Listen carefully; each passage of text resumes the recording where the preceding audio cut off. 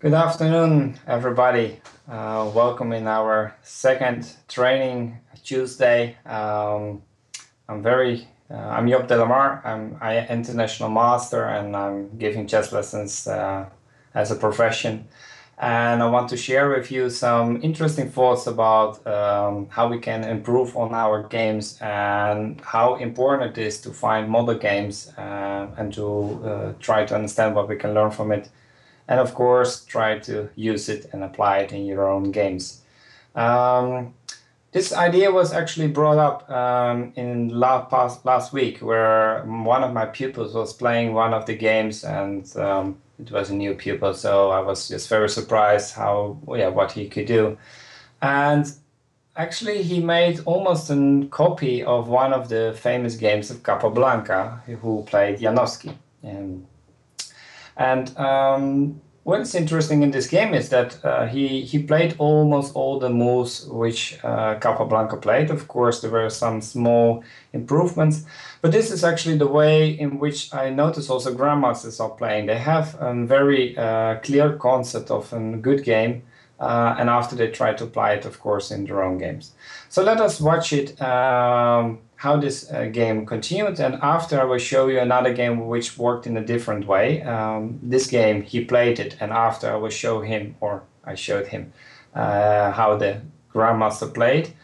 So uh, uh, so one game I will show you that he uh, he actually played already the model game and he didn't even know it and after I played a game myself which I studied by one of the games of Karpov and there uh, I took all his ideas and tried to apply them, and I will show you how you can do it in different way. And the good thing about everything is that this is one of the things uh, we can learn from chess. Of course, if you're interested and you wish to have these model games too, or you want help to it, you can always contact me and I can try to see if I can help you in a training session or whatever. So feel free to ask questions and I will try to get back to them as good as possible. So in this game, um, my people played uh, several moves, and I will just show you um, um, how it went. And sometimes I will have a short um, time break where I will give you some time to think. This was one of the great feedback which I got from you from the last show. So we always listening to your commands and everything and tips. So please always feel free to uh, yeah to help us to improve the product and of course the live shows. So he played b5 b5 is actually an excellent move. Why is it important? Because we, um, where the pawn on c3 is uh, weak, so we want to uh, keep it at its place. And already we see that the bishop is protecting b5, so this pawn won't be that vulnerable at the moment, uh, especially also because the rook on a8 is attacking a2. Um, and so white continued with bishop b2. Um, knight to a6. As we can see, of course, sometimes the moves aren't the best, but it's more, again, to try to understand how, um, how we uh, can improve our play and how we can use or apply model games. So he played knight a6, very clear concept. He was protecting the pawn on b5. Um, which is actually his main weakness. And after he's also controlling d5, so it gives him secure center control. Um, after this, uh, rook went to b1. Nice open file. And here comes the interesting moment, which I want to give you a brief thought. Um, I will pause for some uh, seconds and how you wish black to continue. We have, yeah, we have a choice between king e7 and castling more or less to uh, bring the last rook in the game. So give it some thought, try to think what you would prefer to do, and um, yeah, what looks best to you.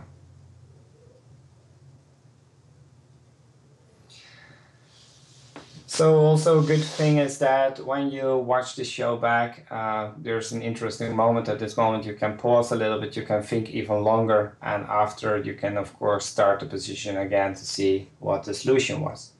In actually in the game, black played castle, which of course is in general a good move. Um, in this way, he connects his rooks, uh, bring his king into safety. But we should remember that in the end game, um, the king belongs usually to the more to the center. It can become a very active and strong piece. So actually, we should have played, or he should have played king e7. King e7 is a good improvement. he can bring the king to the center and the rooks still are connected and you can bring them on the A file. Some small improvement, of course, in this position it might be a little bit more dangerous because the, there's an opportunity to play c4, which of course uh, gives a pawn, but uh, white might have some interesting compensation to to the king, which is already getting to the back rank. Although in this position it's also clear that it's very hard for white to uh, yeah win back the pawn on uh, on on the queen side. Um, he might play a4, but still it's not completely clear how he will get compensation. So um, after king e7, uh, of course, there's an opportunity maybe to play a4, which of course is another way to bring in the rook in the game, and probably this was wise best move with maybe even small advantage. But as said, the main thing which we should remember today is that how we can learn from other games. Not every detail in this in this position is uh, important. So we will get back. Castling is of course an, another good move, and again, white should have played a4, which is clearly the strongest. Um, but white played king f1, h6, little waiting move, and maybe there are some ideas with g5, uh, king e1, and now comes interesting uh, position because black can either play on the king side or queen side. On the king side, of course, there was a very tempting move g5, uh, attacking the knight and chase it away. Um, but he can attack it, and now we see that we are missing actually one move. We would like to play king to g6, and in this way try to improve, um, um, yeah, improve the the position and secure g5, so the knight would be out of the game. Um, that's uh, that's one um, one thing. Um, of course, we can play g4, um, but after knight f4, um, it's uh, black can play king g7, maybe with some idea of rook h8. Black is still better, but it's not sure if it if if this is really giving much already. So often what we will see in games is when you have an opportunity but it doesn't bring immediately big something big we prefer to prepare it. And we have even in the berlin wall we have even ideas like something like king h7 with the idea of going for g5 the next move. And after we have opportunity to play king g6 although white should play h5 in such position just to prevent such action. Um, we go back king e1 and he played rook a7. Very nice move, especially for his young age. He's doubling the rooks, improving his position, and from there he's uh, yeah he's improving actually and bringing last rook into the game. Uh, white king became active, so as I already mentioned before, in the endgame we see that uh, we often try to activate our pieces. But immediately we could see that if we go a little back um, to this move, you already could think, hey, if the king goes to c2 in anyway, why he didn't play king d1? And this is some kind of improvement which are very important. When you're um, when you're working on your chess, very often you analyze games, and after several moves, you try to understand what you wish to do, and then of course you go back and see much more easier which improvement you could have made. Of course, it's all in backside, always easier than when you're while you're playing the game. But that's why we, it's so important to analyze the game after the um, yeah after you play them. So um, in this position, he played. Uh, I will promote the move rook a7. He played king d1. Um, here uh, the, the rook went to a8. Again, activating and rook b2. Now comes an interesting moment where I will give you a little spare time again um, uh, to think um, how black can improve his position again. We, we activated already both rooks, so now you have a little time to think how we can improve our, position further. So which of the pieces can be improved now and to which which place?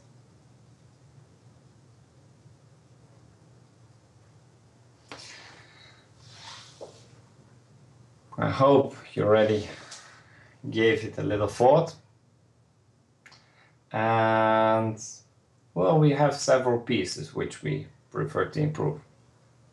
Maybe the knight on c7, you can think he's only defending, but on the other hand, what the knight can be doing better. I mean, the knight is defending b5.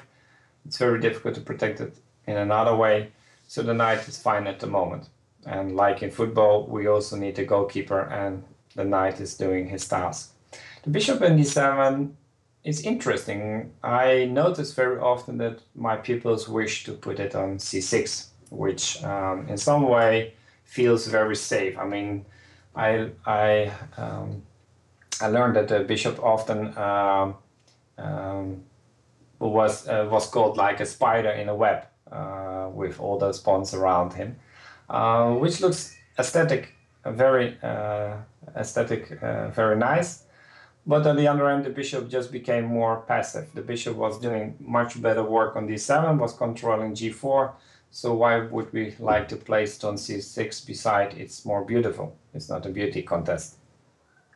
So what we can see in general, um, to have some overview on what's going on, is that uh, black is trying to um, to play on the queen side to get more firm control over it and try to uh, defend.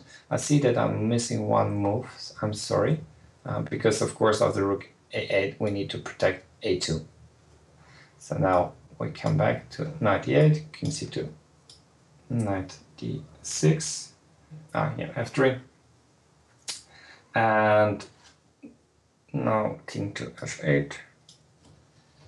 Um, bishop e1 just to activate it. And in this position, uh, black played rook a3 and he continued. Um, after tough 5, uh, black lost the game. But what I wanted to show you um, is the way how he was playing and how it inspired me to show him the next game. So for a brief moment, I will uh, load the game um, and then we will just keep this in mind, this game, and see how we can learn from other games uh, so we go back in time and not even a little bit. We go back to 1916 uh, in New York, uh, one of the famous tournaments, and I'm sure that one of the listeners will be happy that this game was played in his hometown. Um, and um, what was interesting about it is that uh, Capablanca actually uh, took the idea of my pupil and in that time and he played a very um, remarkable move.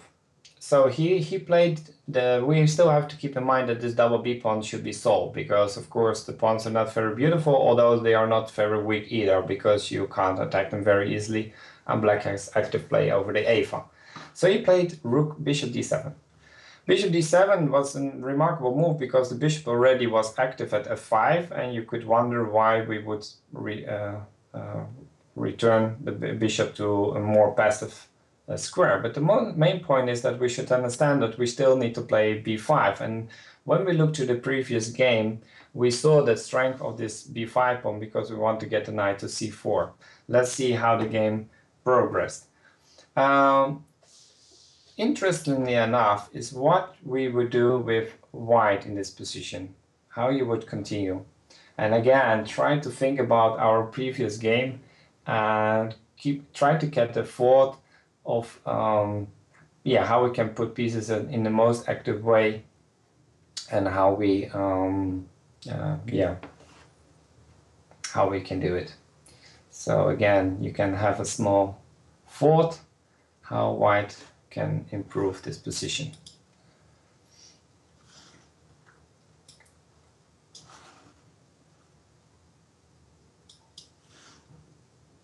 Okay, at the moment, uh, I hope you have some good thought. And well, there are actually maybe two or three moves. We can very actively play bishop b5 On the other hand, we should realize that after maybe e6 with some idea with knight a5, the bishop will be trade and I can still bring the knight to c4.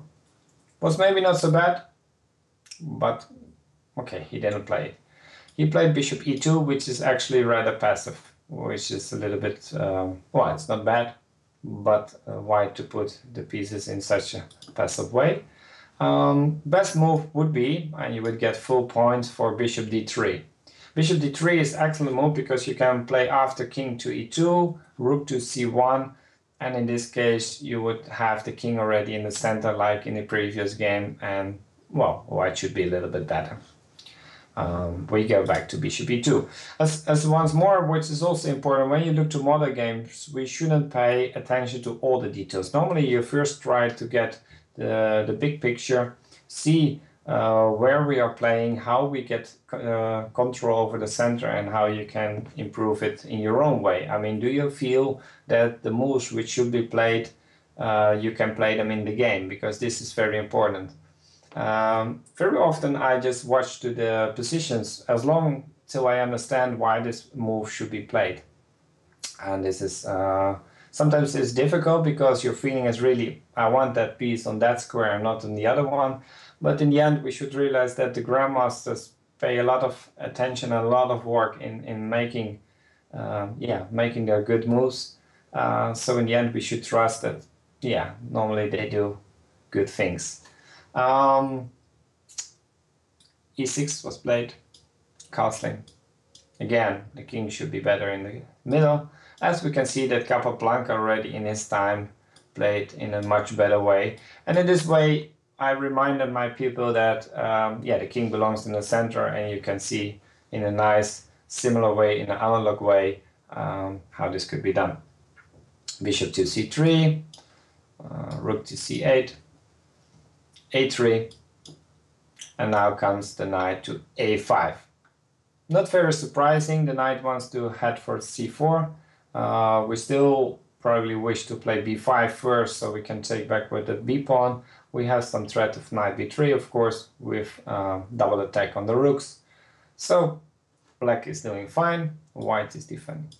And now comes interesting moment because um, yeah, we have to make some choices. Before it was just we improved our position slowly. We uh, activated the king, we activated the rook, we controlled some squares, and now we have to make some choices. And one of the choices, um, yeah, again, maybe I will give you a little time to think. Um, do you want to play something on the queen side? b5 might be an option. Do you wish to play for the center? maybe f6, e5. Do you wish to prevent white's action with e4? We might play f5. Or do you want maybe to double rooks with rook c7, rook c8 just to make more tension? So we have four moves which we can consider as interesting and one of those ideas we can make work. Okay, let's have a small look together. Um, in this position, uh, of course, we are very uh, occupying ourselves with the queen side. We are we want to play b5, we want to get rid of the b pawn, but we should always keep in mind that there's an opponent who is, of course, trying to prevent our actions. Um, and also, we have time. I mean, the, the position is rather closed so it's important to, to do it in, in the pace which is uh, convenient um, and doesn't allow your opponent to counterplay. Um, that's the reason f6, e5 is red. Yeah, it's very slow because I think that white immediately will get e4 with an active play, might give a weakness on d5 or bring his knight active in the game. Um, so this is mm, probably not the best move. Um, and that's the reason why I like this move f5, which was actually played in the game.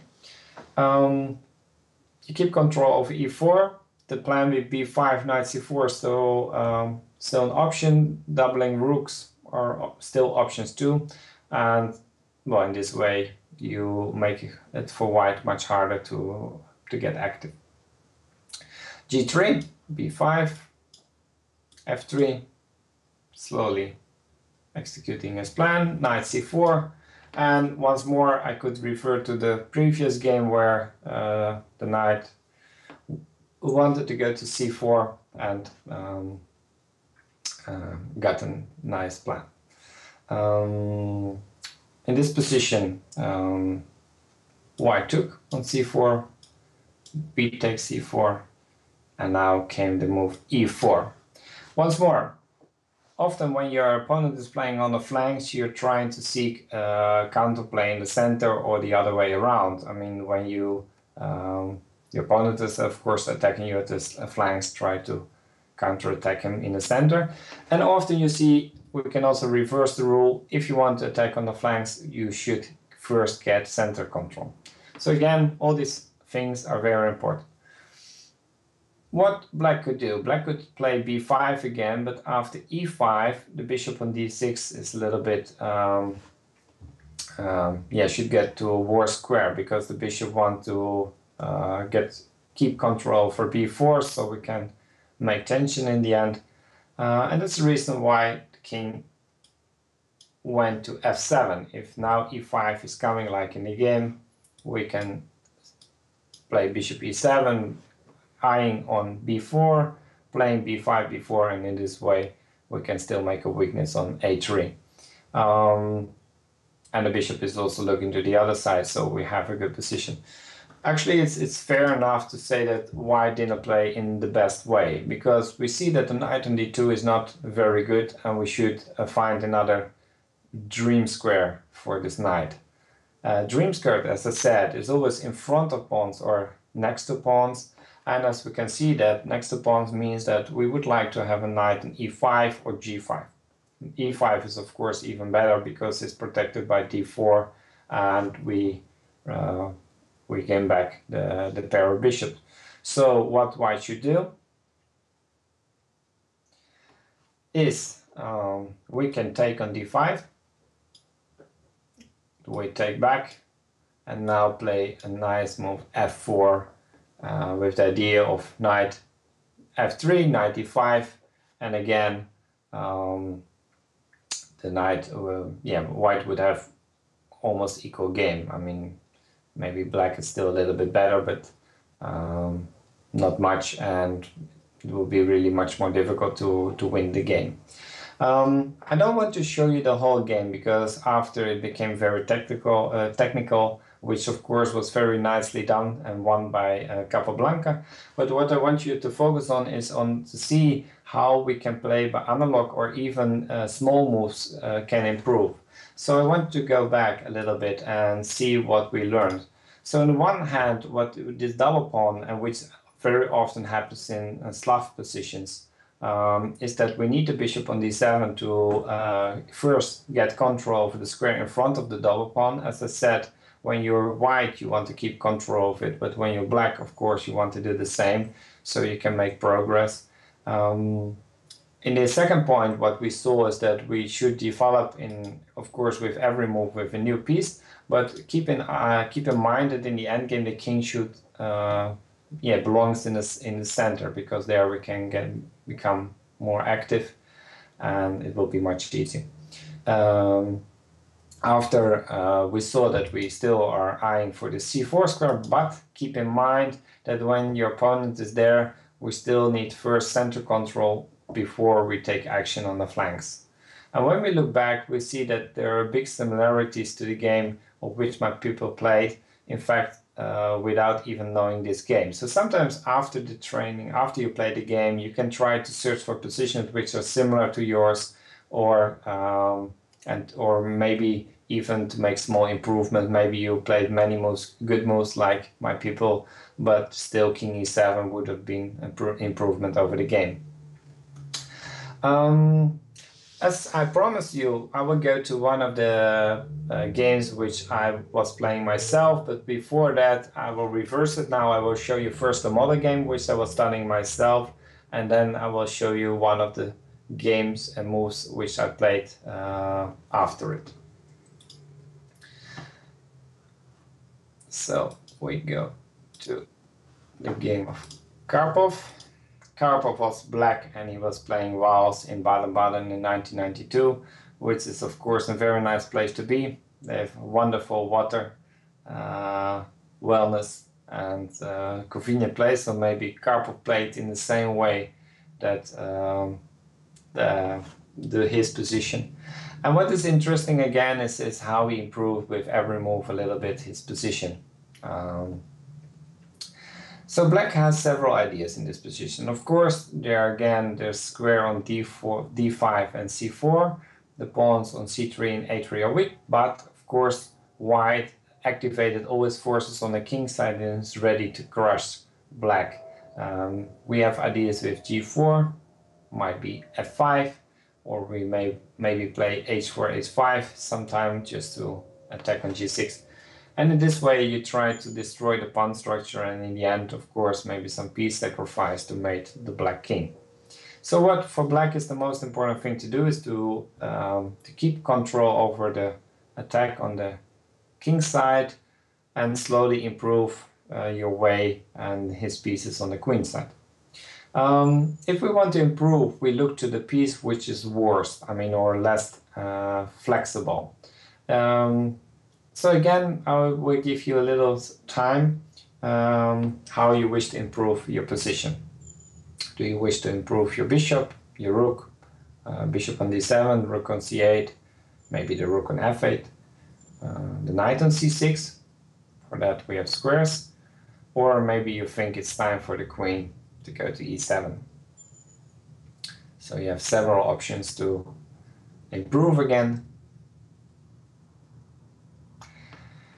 Okay, let's have some thought together.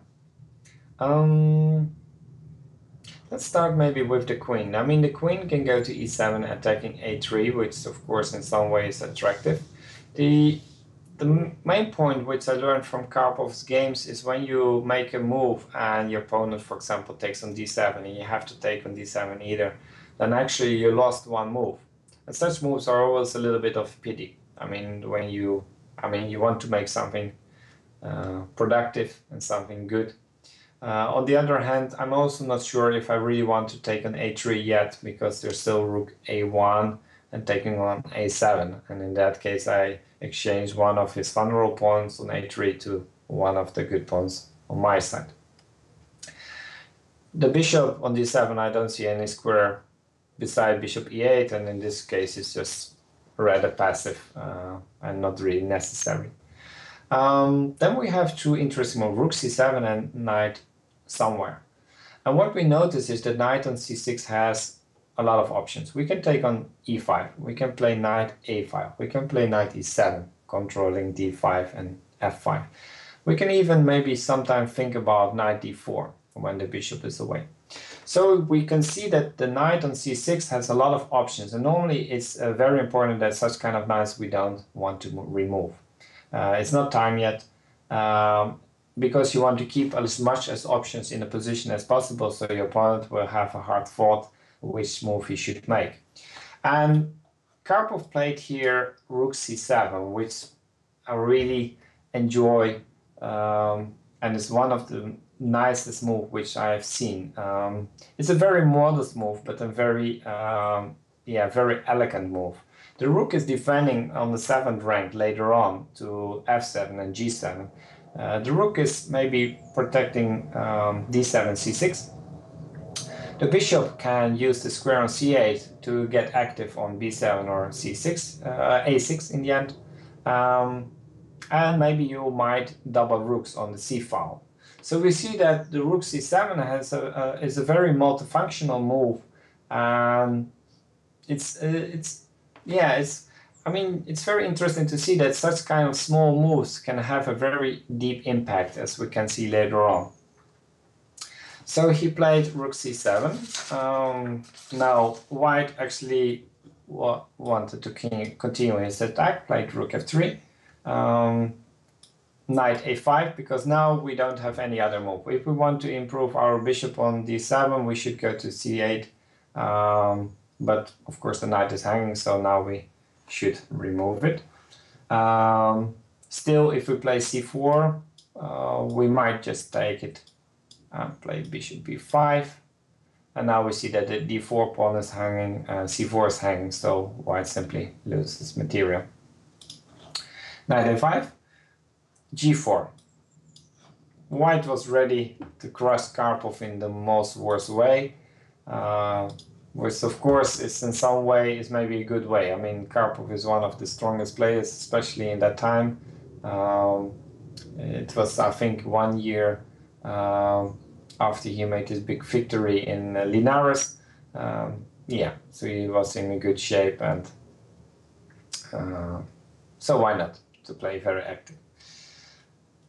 Um, and now came another deep move. He played rook e8. Rook e8 is an, some kind of prophylactic move, like uh, white wants to play f5, but in this case we just might take it and take it. And again, we see now the function of the rook on uh, c7. If we want to, we can we are threatening f6, and now the rook uh, bishop on g7 is also protected. Even if white wants to play something like rook g3 or king queen g2 just to attack uh, g7, we always have the rook already um, in defending um, way. So um, yeah, that's a very good thing.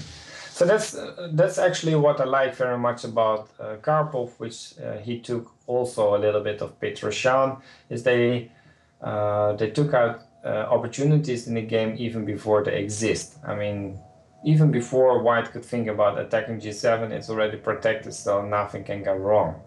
That's a very good thing.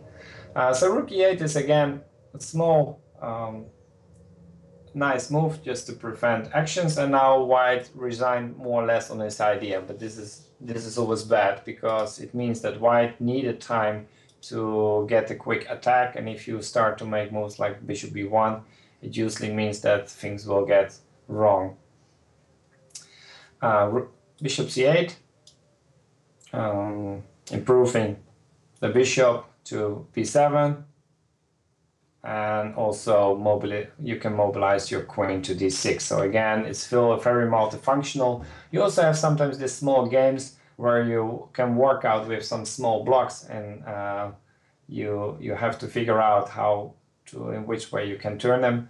In this way you see it fits excellent and all the black pieces work in the puzzle. G5 some idea to work with um, knight g4 knight f6 but again uh, White completely resigned on this idea to attack with f5, um, and it's, uh, it's, probably very difficult to uh, mate the black king, especially since we have the, the so to say, uh, Sicilian dragon bishop, which means that after king f8 it's very difficult to checkmate me.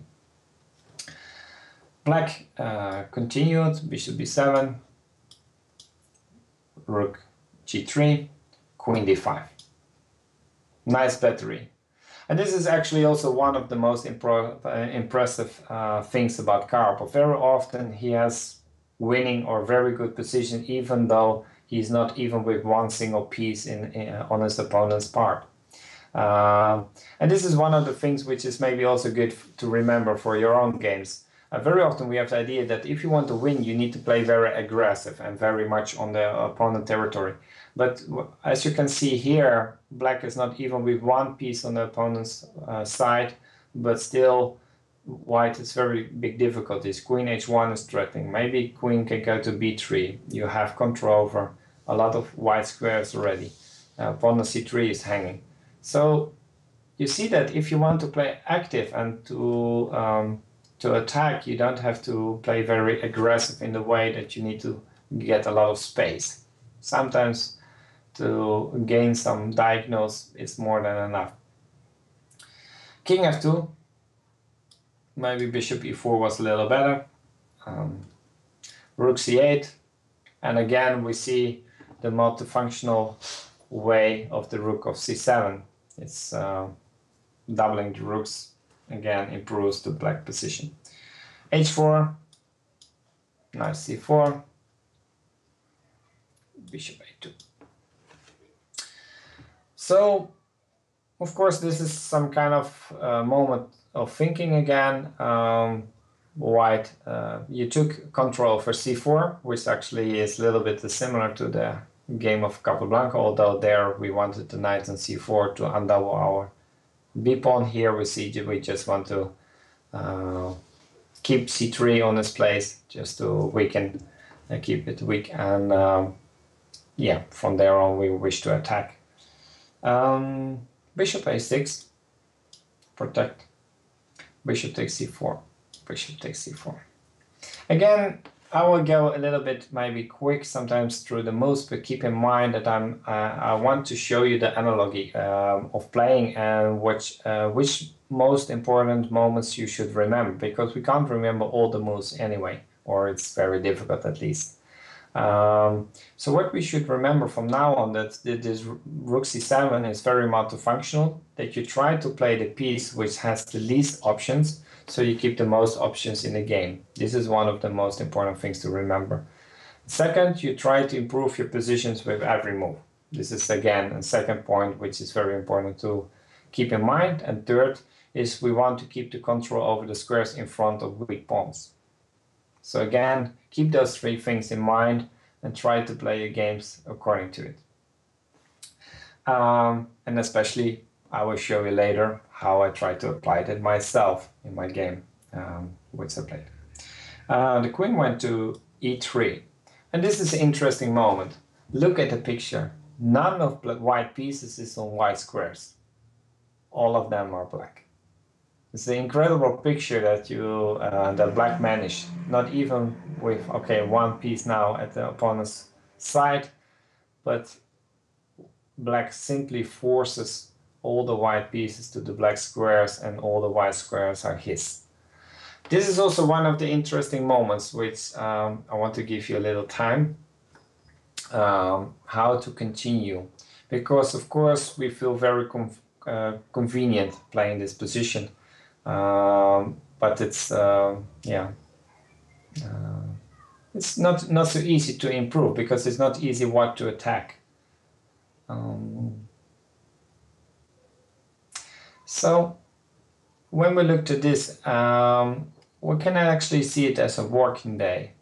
When you have a working day, of course, you you you go to your work, and when you finish your work, you you want to go home. And actually, this is a task of the bishop in the same way. The bishop has done what he should do is taking back on c4, um, but we just go to a6. And if we go to a6, we can go to b7, again attacking the white king, keeping the white pieces tied down to defense. And of course, we want to make more pressure on c3, which of course is one of the weakest spots in the position. So again, once more, you should always keep in mind not what you what your previous move uh, has been, but what you would like to do. And in this uh, position, the, the task of the bishop is gone, and we wish to go back and go home. Um, h5. Queen a2.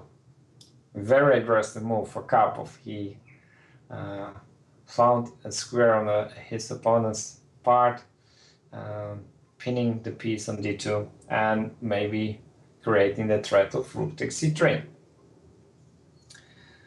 King goes to g1, unpinning his bishop, so the opponent c3 is protected again and now he took an h5.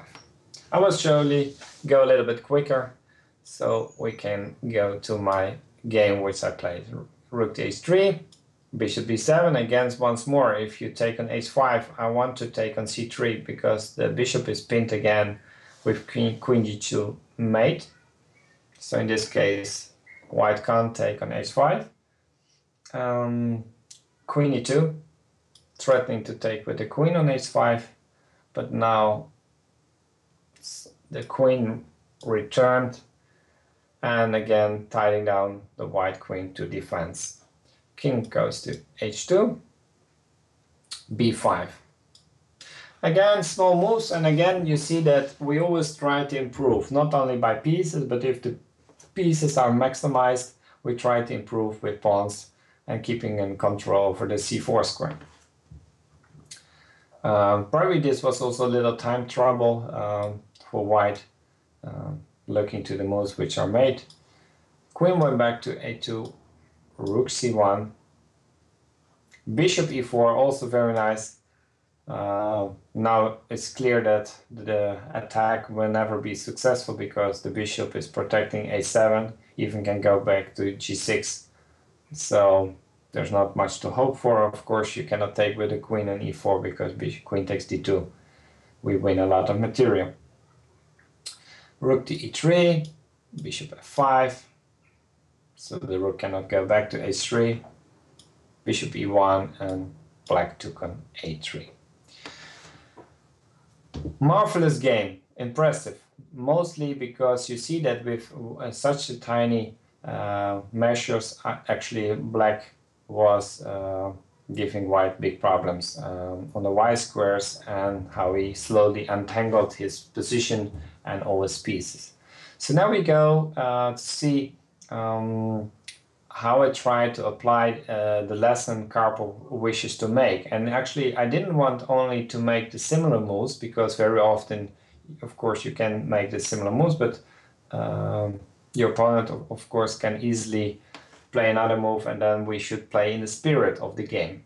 So I want to show you two things. First is how I played the exact moves uh, for some time and after how I was trying to play in the spirit of uh, the world champion. So in this position um, I was uh, black and um, actually you see already a small difference. Uh, in Karpov's game white took with his b pawn on c3 and in this position we see the bishop on c3. So as we notice um, very often we are on, our own uh, quite easy, uh, quite uh, quite soon and in that case you need to think what would be the way how Karpov would approach the position or how he would think. Well, we still have our first remarkable move in mind which was rook c7 so I was thinking this looked like looks like a very good move. I protect the bishop on d7. I might even take back with my rook on d7. If he takes on c6, bishop take to c6. Uh, maybe in the end I can play bishop c8 just to make the same maneuver later on. Um, and just give a lot of options. Just slowly improving my position, maybe even protecting b7. So at one moment I can take something or play just simply knight e7. Um, white played rook e1, activating as another rook, knight e7. In this position I want to take, take control over d5, uh, which of course uh, keeps and maintains the, the weakness on d4, um, even attacking the bishop on c3, and in such way uh, get a very pleasant control of the whole position. Bishop to b4. Now I want you to give a little time to think again is how we can play in the same spirit of Karpov. Because of course it's clear that now we can't make the same moves. We can't play b6, bishop c8, bishop b7. Uh, it's too slow. Um, so we need to find another way to improve.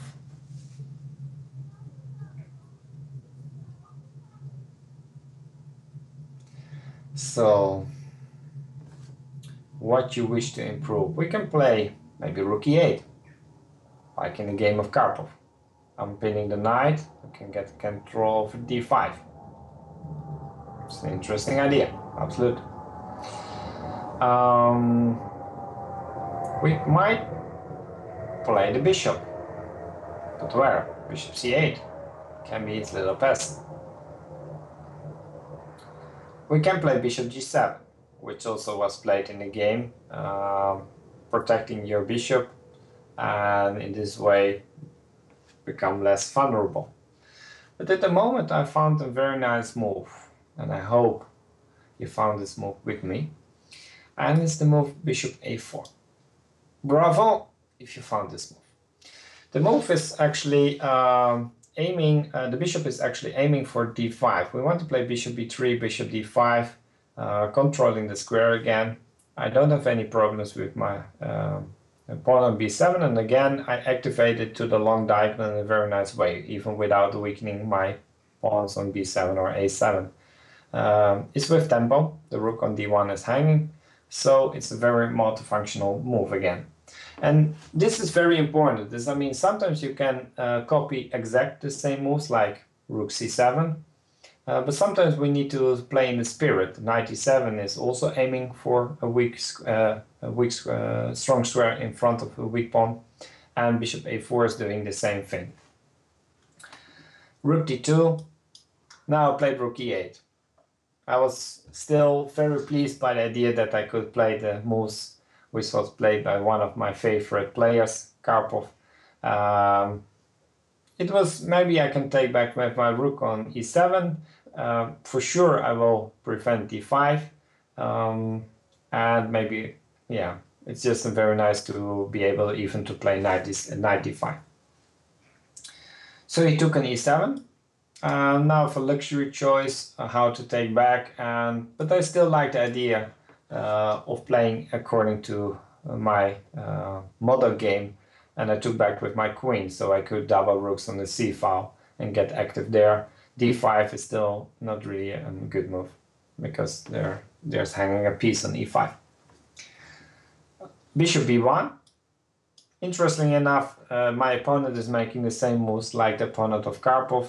At the moment, I was sure that if he's playing moves like bishop b1, I would have a good position because um, white only can, yeah, can only have advantage in short term where he gets very active with h4, h5, or maybe knight g4. But as soon he's making uh, passive moves or moves to uh, consolidate, um, I will get firm control over the center, over square d5, and then he will have troubles in the end with pawn on d4. Um, I play bishop b3 rook went to d3, bishop d5, queen g4, rook c8. And actually, to be honest, I was even rather pleased that I could make all these similar moves. I felt very comf comfortable and actually you see that I actually didn't have uh, much thought about what I should do. I can just copy them in, in most of the moves. Rook d3, rook c1, Of course, sometimes you have to think a little bit yourself. Still, I just wanted to exchange one pair of rooks, which means that um, yeah, his back rank will become more vulnerable. And after I would try to uh, win the weaknesses on d4, b2. Mm, bishop e4, trying to exchange uh, the bishops, and now uh, yeah, I have some small tactics. Um, so I will give you a little moment.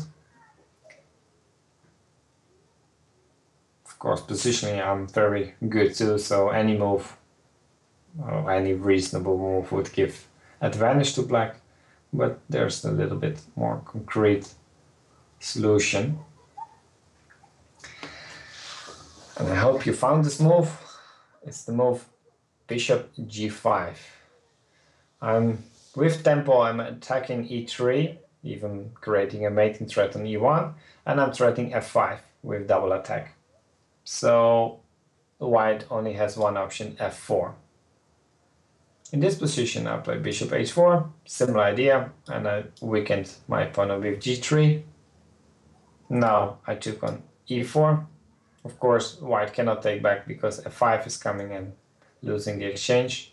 Um, so he took on h4, but of course, look at the pawn structure, it's horrible. Um, and now even in this position, I enjoyed playing similar moves like in my model game. I played bishop f5, queen g3, and look again. I managed to put all the white pieces on the black squares like in the previous game. It wouldn't be enjoyable to play such a position. Queen d6, again bringing the queen to the center square. And now also beside the rook on c1, I don't have any pieces on my opponent's uh, side, but still white has already big, big troubles. Knight f3, h5, even that move I wish to copy. And okay, just some small moves. And rook c2, and my opponent resigned. Not even being big material behind, but there's no no way to defend the position anymore. So when we look back, uh, we, we, we have seen two practical games and two model games. In one, sometimes we see that we played the position and actually we fought over ourselves and found maybe some good moves. Maybe not all of the moves are good, but at least a lot of moves are good. In that way, after the game, you can uh, come home and look for ChessBase or for any other uh, database and see if you found any um, um, yeah, any model games or any similar. How you can do it, you can just, for example, put the pawn structure and look for similar pawn structures. Sometimes you can look for maneuver, and in this way you um, yeah you simply uh, can try to uh, to see which move should have been played or uh, which move you played correctly. Because of course, when we look back, we also can be proud of all the good moves we are producing. In the other position, uh, I did the reversed. I watched uh, first and studied first an, a good example of Karpov, and after I was trying to copy it myself. Sometimes I could make exactly the same moves, and sometimes I could play in the spirit. I hope you enjoyed this show. Uh, we are at the end of our training Tuesday of uh, today. Uh, if you have any questions, please uh, be so kind to um, to text me in um, or uh, in in chess24. Uh, you can always check out my website uh. Uh, unfortunately, the website is still in Dutch, uh, but I'm working on to, to make it in English. But feel free just to contact me and um, give your questions, comments, or any uh, any yeah any wishes you wish to make. Um, I want to thank you for your attention. Um, I hope you have you have enjoyed this show, and I hope to see you next time again.